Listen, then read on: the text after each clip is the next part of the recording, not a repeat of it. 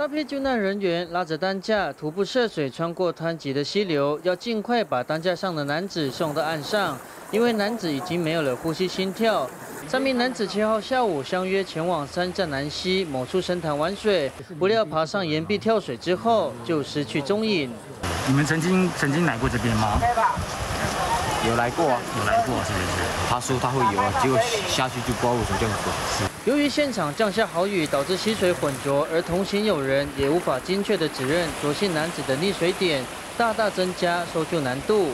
我从那边跳下来之后，他人就在那边不见了，所以你也不确定他到底是哪一个点。对，大概在这个石头这一面墙哈，到底下这边，那这边水深大概是四到五米。